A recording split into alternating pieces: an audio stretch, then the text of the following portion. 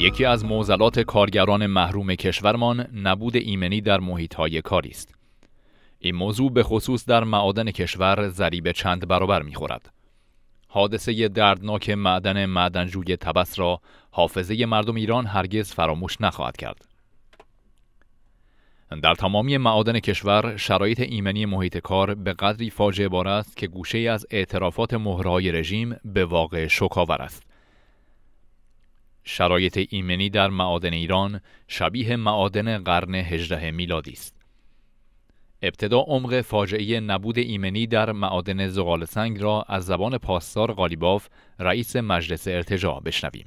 باز ما اگر یه شاخص رو توی دنیا داشته باشیم در همین زغال سنگ به ازای هر ده میلیون تن برداشت یک نفر تلفات در دنیا هست این در شرایطیه که ما در هر میلیون تن سه و نیم نفر او در ده میلیون تن ما در یک میلیون تن سه و نیم نفر ما تلفات داشتیم با این اعداد و ارقام مرگ و میر کارگران در معادن کشورمان 35 برابر متوسط مرگ و میر در جهان است.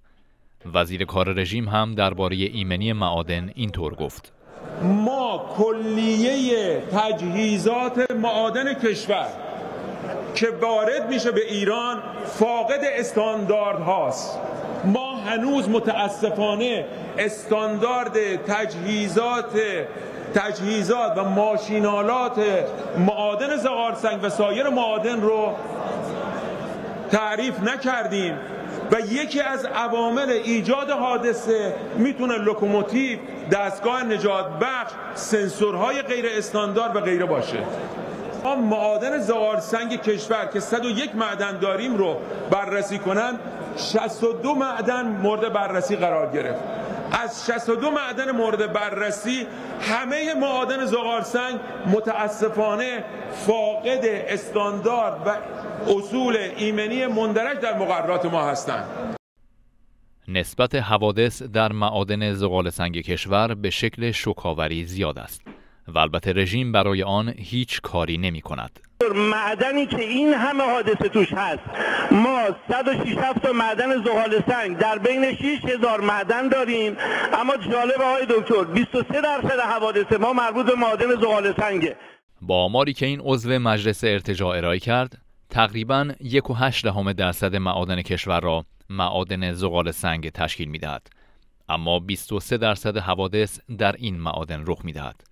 یعنی حوادث در معادن زغال سنگ کشور نزدیک به 55 برابر سایر معادن است.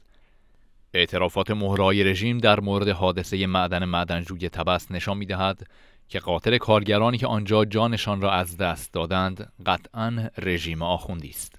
عوامل بروز حادثه در بلوک سه تجمع تدریجی گاز و عدم تهویه مناسب جهت جلوگیری از اون و عدم بهکشی مناسب عدم وجود حسگرهای دقیق و ثابت سیستم مانیتورینگ گاز و سیستم های هشدار خودکار حفاری غیر اصولی و ریزش بخشی از بوده ناشی از گام اول استخراج کارگاه 82 و همچنین عدم رعایت الزامات ایمنی برای جلوگیری از احتمال بروز جرقه. وقتی به مردم ایران و کارگران محروم معدن می‌رسد رژیم حتی حاضر نیست یک سنسور ساده گازسنج در معادن نصب کند اما تونل های مجهز آنچنانی برای موشکی و اتمی و نیابتی های خودش در منطقه می سازد. تونل هایی که میلیاردها دلار خرج آن کرده و فیلم و تصاویر آن را هم برای قدر قدرتی منتشر می کند. اما سهم کارگران ایران فقر و بدبختی و مرگ است.